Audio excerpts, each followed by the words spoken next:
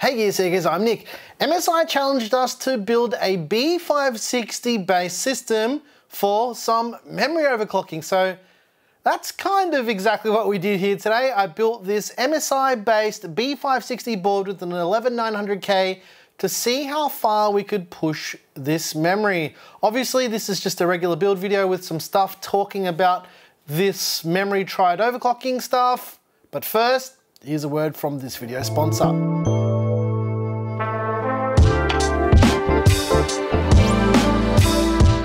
This video is proudly brought to you by MSI and their Memory Try It overclocking competition. Think you've got what it takes to be the god of overclocking? MSI is proud to unveil a new DDR4 memory overclocking competition for the latest MSI B560 series motherboards. We're calling on anyone who wants to show the world what they've got when it comes to memory overclocking even if it's your first time trying it out. With easy to use MSI exclusive BIOS tools such as Memory Try It, and with thousands of dollars worth of prizes up for grabs, anyone in selected countries stands a chance to win. Links to enter the competition are below in the description and check out MSI's terms and conditions for full details. The idea for this build was really to, obviously because the video is sponsored by MSI, use MSI parts, but pick some hardware that I thought would be good for memory overclocking. So that's what I did. Let's see how it came together.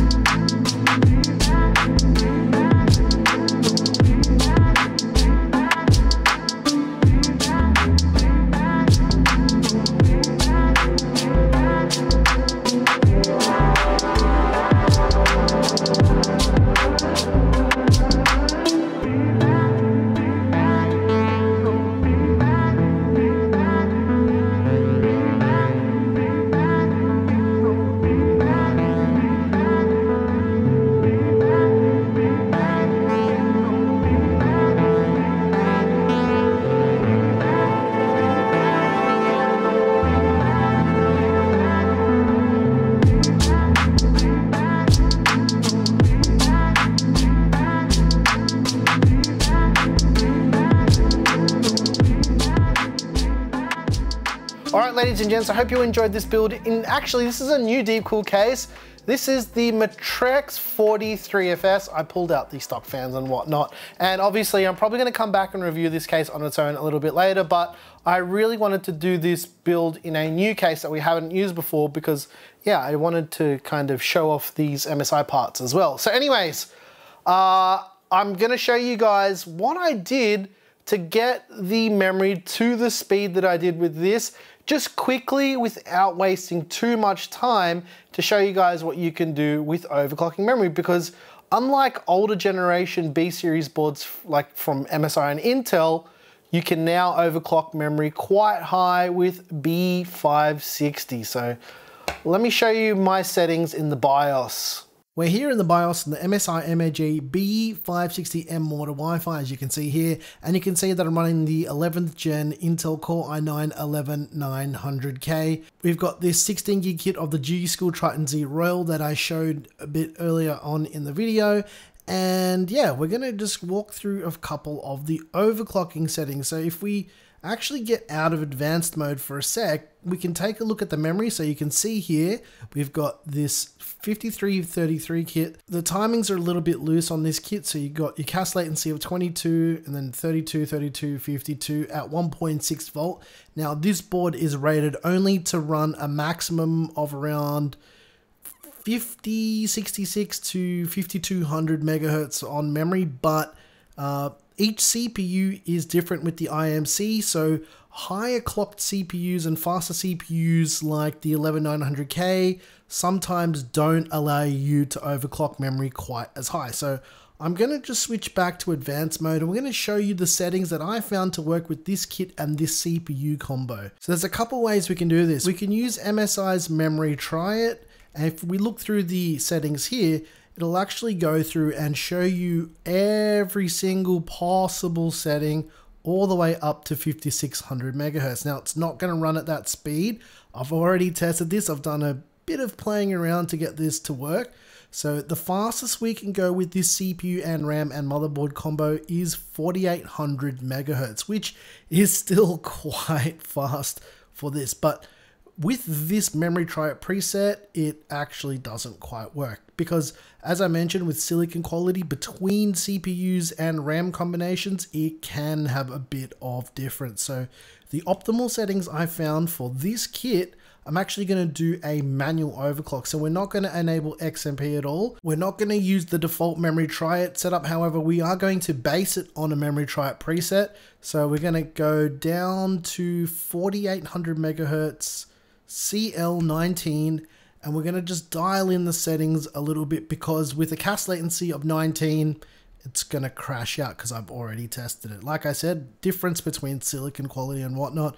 So if I go to advanced DRAM configuration, I've got a few settings here. Now, these settings here, these work fine, right? These timings are fine. It is a little bit tighter than the factory timing here, but what we need to do is loosen up the CAS latency. So 19 is too tight. So we drop it down to 22 and we should be in business. And that's all I needed to do to get it to work at this speed. And this is the fastest and tightest I could get out of this kit. So let's uh, save those settings and we'll see if we boot up. All right, looks like we're in business, ladies and gents.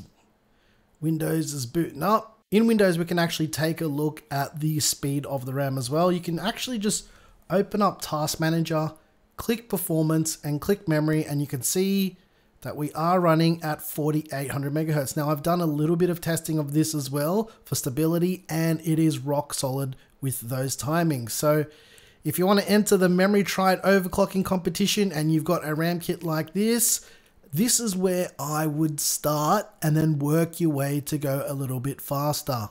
I didn't actually try and spend too much time overclocking the living snot out of this memory kit. I reckon with this 5333 kit from G-Skill, I could probably push it a bit further if I used this board. Now, I actually have another build planned, an ITX one with this memory because I kind of want to get it all the way up there. There's a couple factors as to why uh, I couldn't get the memory overclock all the way up to its maximum speed and beyond is one uh, ITX boards are typically better for memory overclocking. So that's why I want to give this another crack on this board here. I'm going to do this next week. Yeah, there will be a whole nother video about it, I reckon, because I think it's pretty interesting, especially if you want to try and win some prizes. I can show you guys how to attempt to win the prizes with an ITX board. And the other thing is, I think the CPU uh, well, the 9900K is just a little bit too hungry for memory overclocking. I think an 11600K, 11600, 11700K will be a lot better for memory overclocking. So we're gonna give that a crack again. Let us know if it's something you guys wanna see, but too bad, I'm doing it anyway because I wanna know if it's gonna go a bit further. And we're gonna be building that in a very, very, very special case. You'll see. You'll see. That's coming next week. Let's quickly chat about the parts in this system because you guys would probably want to know. The CPU is the Intel Core i9 11900K. We put the 11900K on the MSI MAG B560M Mortar Wi-Fi. To cool the 11900K, we use the Phanteks Glacier One 240MP the black edition. The RAM is 16 gigs of G.Skill Trident Z Royal at 5333 megahertz. This is the fastest RAM kit that we own. It is absolutely ridiculously expensive and it is ridiculously fast. I still want to get this thing to run at 5333. It's gonna happen, I'm gonna do it. The GPU is the MSI RTX 3070 Ti Gaming X Trio. This is the first time we've actually used this GPU for anything. I've had it here for a little while and I was like, you know what, this is the perfect time to crack it out for a build. The fans are Deepcool CF120 Plus ARGB fans. We've used these a couple times and I decided to use them because I just feel like they look better than those other fans which have Molex connectors. Yep, you know how I feel about Molex connectors on fans already. The cables are a custom white and silver CableMod kit. I wanted to use a black and silver kit, but I don't have them, and the only uh, cable kit that I've got with silver in them to match the aesthetics of this build was this one. But you know what? I actually think it looks fine. What do you reckon, Claire? I think it looks fine. I think it looks cool. Just it mixes it up a little bit, yeah. especially because like the heat sinks and stuff are like silver, but they're kind of shifted more towards white. So I think it it it's suits. Nice yeah, it's a nice contrast. Something a little bit different. As I already mentioned, the case is the new Deepcool Matrix 43FS. Like again, we'll have a full review on this case coming in the next week or so because I want to show you guys everything with the case. But yeah, for this video, I wanted to use something fresh, fresh. I'll put a full PC part picker list down below in the description if you're interested in every part in this build. Uh, special thanks to MSI for sponsoring this video. I actually had a lot of fun trying to just squeeze this memory as hard as I could make it go. Again, I didn't spend heaps of time trying to push it as far as I could, but I'm gonna spend more time on this when I do a cheeky little ITX build. Because as I mentioned, ITX boards are way better for memory overclocking. So yeah. If you like the music you heard here, I make all the music. It's available over on Patreon. And that's just about gonna do it. I'm your boy Nick with Gear Seekers. You peek, we seek, and it's time to engage cinematic mode.